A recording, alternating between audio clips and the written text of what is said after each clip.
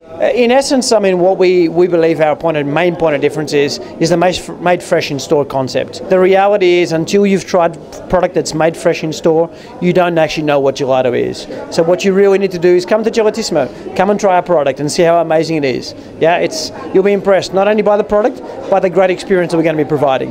A tagline that we sometimes use is you can't afford to buy happiness, but you can afford to buy gelato. And the other one that's also very good that we use often is life tastes better with gelato. So should try both of those.